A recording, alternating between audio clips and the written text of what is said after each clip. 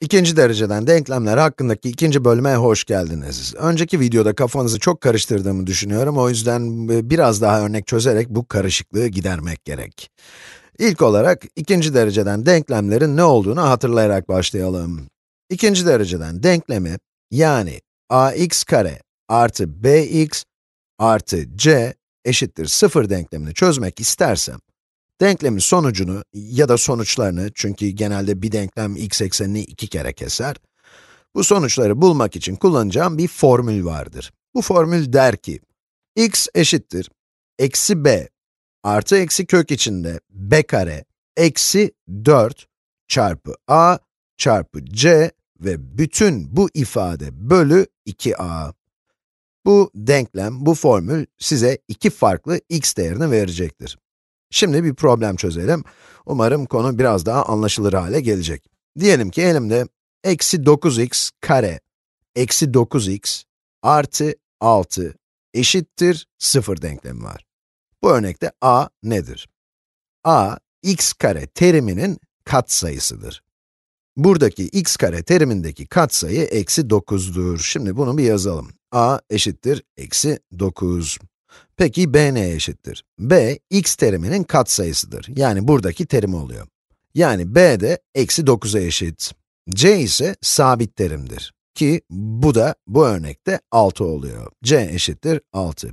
Şimdi bu değerleri formülümüze, yani asıl ikinci derece denklemimize yerleştirelim. Eksi b, yani negatif çarpı negatif 9, eksi 9. Artı eksi kök içinde b kare, ki bu da 81 eder değil mi? Eksi 9'un karesi.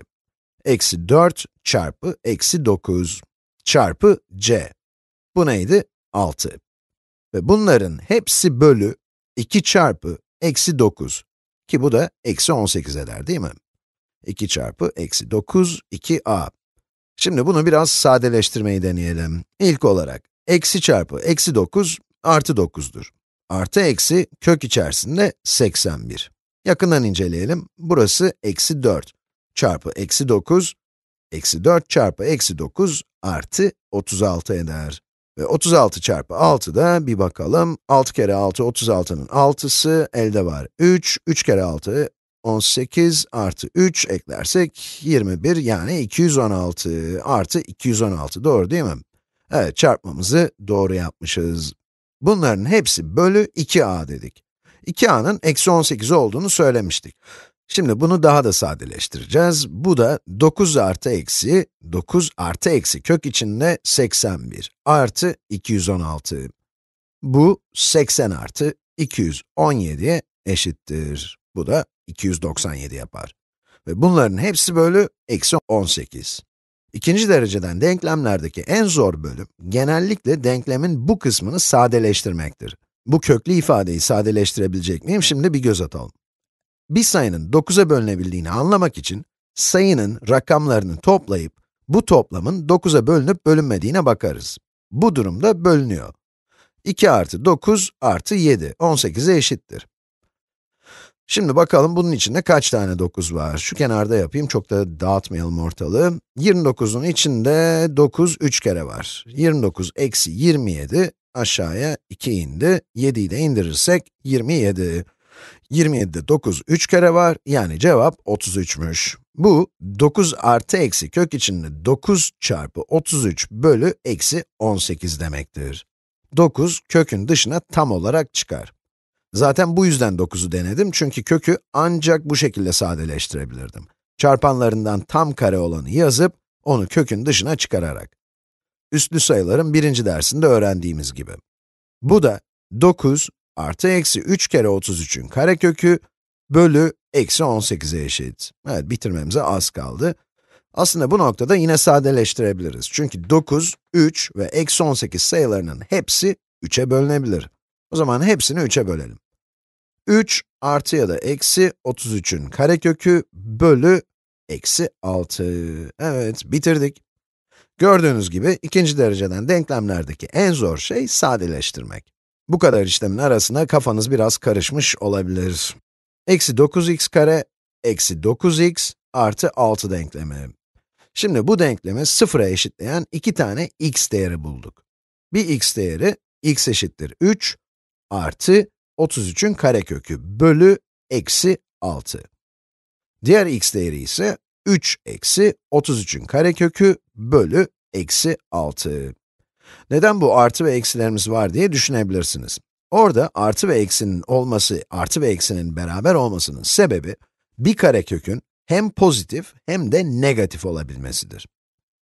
Evet, hadi başka bir problem yapalım. Umuyorum bu biraz daha basit olur. Diyelim ki, eksi 8x kare artı 5x artı 9 denklemini çözmek istiyorum. Artık ikinci dereceden denklemi ezberlediğinizi varsayıyorum çünkü ezberlemek zorundasınız. Ya da direkt bir kağıda yazın. Ama denklem eksi b. b burada 5 değil mi? Yani eksi 5 artı eksi kök içinde b'nin karesi yani 25. Eksi 4 kere a ki a da eksi 8 çarpı c. c ise 9. Ve bunların hepsi bölü 2 çarpı a. a eksi 8'di, bu yüzden hepsini, yani bunların hepsini, yukarıdaki ifadenin hepsini 2 çarpı eksi 8'den eksi 16'ya böleceğiz. Şimdi bu denklemi sadeleştirelim. Bu, eksi 5 artı eksi kök içinde 25. Bakalım.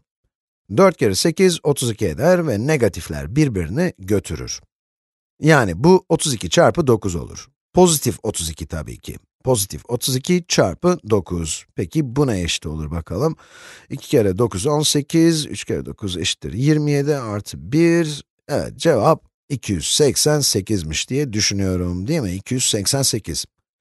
Bunların hepsini eksi 16'ya böleceğiz. Biraz daha sadeleştirelim. Eksi 5 artı eksi kök içinde 25 artı 288. Bu 313 eder. Yani 313'ün karekökü. Ve bunların hepsi bölü eksi 16. Kontrol etmedim ama neredeyse yüzde yüz eminim, 313 rakamı, karekökü tam sayı olan bir sayı ile başka bir sayının çarpımı şeklinde çarpanlara ayrılmıyor. Hatta bu bir asal sayı sanırım. Bunu incelemeniz gerekebilir. Eğer böyleyse, tamamıyla en sade şekline getirdik. Ve biz diyoruz ki, bu denklemin iki tane çözümü var. Bu denklemi doğrulayacak iki x değeri. Bunlardan biri, x eşittir eksi 5 artı 313'ün karekökü bölü eksi 16. Diğeri ise x eşittir eksi 5 eksi 313'ün karekökü bölü eksi 16. Umuyorum ki bu iki örnek size ikinci dereceden denklemlerin kullanımı hakkında daha iyi bir fikir vermiştir. Evet, birkaç video daha ekleyebilirim. Bunu iyice öğrendiğinizde size bu tip denklemleri karekökün içinde negatif bir sayı varken çözmeyi öğreteceğim. Çok ilginç değil mi? Neyse, umarım artık konuyu ve soruları anlamışsınızdır. Belki de ileride birkaç video daha yüklerim. Bu konu kolay bir konu değil. Umarım eğlenerek öğreniyorsunuzdur ve görüşmek üzere.